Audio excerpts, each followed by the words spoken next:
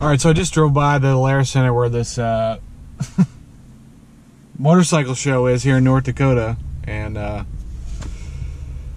boy, I might not even make any video on this. So we'll see what happens.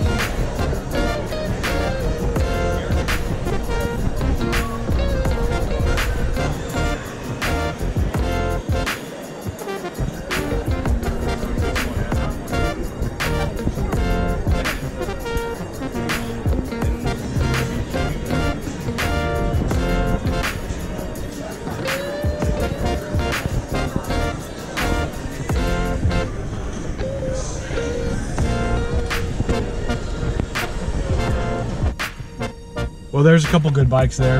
a couple cool bikes. Uh, there was like a uh, Bultaco, and uh, well, you'll see I took a couple video shots of it, but uh, everything else was just Harleys, man.